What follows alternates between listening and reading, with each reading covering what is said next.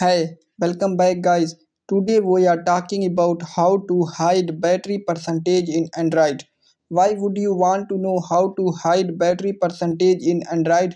Well, maybe it is your first time using mobile phone and not sure how to hide battery percentage in Android. So today I am going to show you how to hide battery percentage in Android.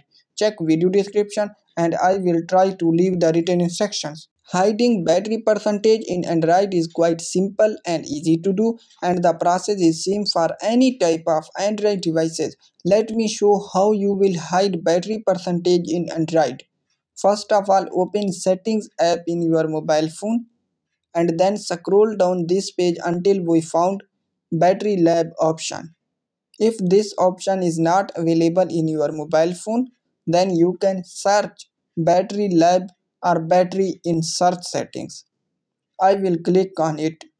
Now in this new screen click on battery settings in the bottom of this page and now click on toggle button to turn off battery percentage and now in your mobile phone battery percentage has been hidden so there you go if you were wondering how to hide battery percentage in android that is the easiest way i know. If you know another way please leave a comment below.